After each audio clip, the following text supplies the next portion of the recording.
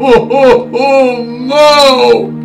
What? Jax Bishop lost it all. I lost it all. The bounty hunters took his wife. The bounty hunters took his wife.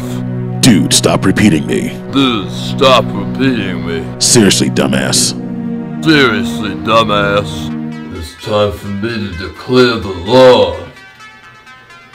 Jude Law. Featuring the sexually ambiguous villain.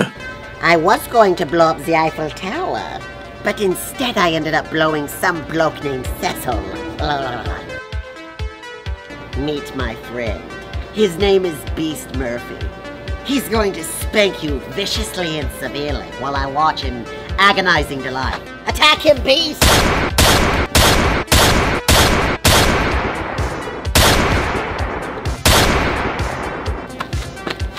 You go to church this morning? Cause you're looking pretty holy.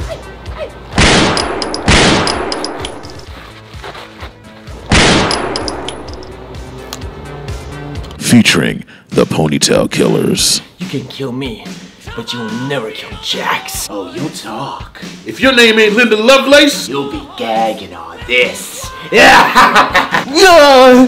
No!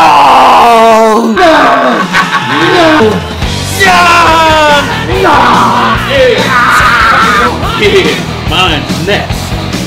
Come on now, Steve the what, boy? Yeah. I got one question for you. You think you're above the law? Cause you're not. If the law's right here, you're somewhere around here. Good night, Toots.